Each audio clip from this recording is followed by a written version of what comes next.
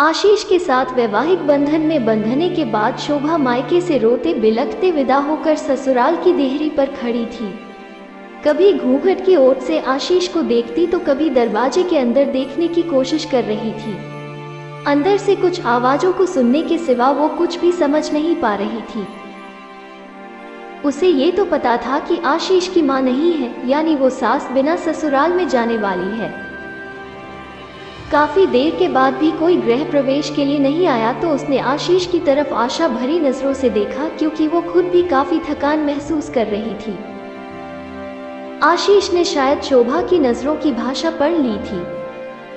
वो अपनी छोटी बहन को बुलाकर लाया और उसके कान में कुछ कहा।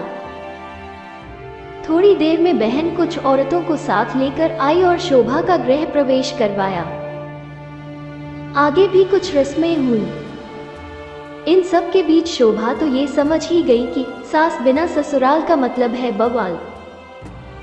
धीरे धीरे सारे रिश्तेदार चले गए। कोई अपनापन दिखाता तो कोई बेगानापन।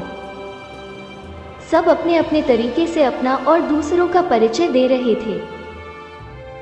शोभा कभी इनकी तो कभी उनकी बातें सुनकर परेशान सी हो रही थी।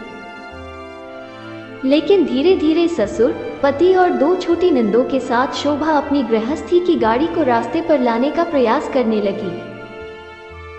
पति का प्यार, ससुर का दुलार और छोटी नंद का स्नेह शोभा को कब अलहर लड़की से जिम्मेदार गृहिणी बना दिया, वो खुद भी नहीं समझ पा रही थी।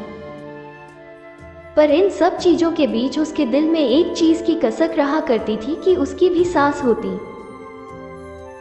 शादी के समय सारी सहेलियाँ उसे काफ़ी किस्मत वाला मानती थी कि चलो ससुराल में सास की किच किच नहीं रहेगी, पर सच्चाई तो ये है कि जिस घर में सास ना हो, उस घर में आने वाले सारे लोग सास ही बनने की कोशिश करते हैं।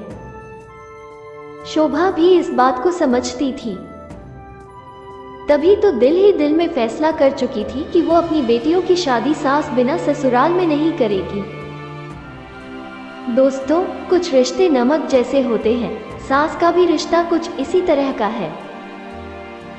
ससुराल का हर सुख बिन सास के फीका ही स्वाद देता है। ये कहावत भी सही है कि सास गले की फांस होती है, जो ना निली जाती, ना उगली जाती है, पर इनका रिश्ता काफ़ी खास होता है।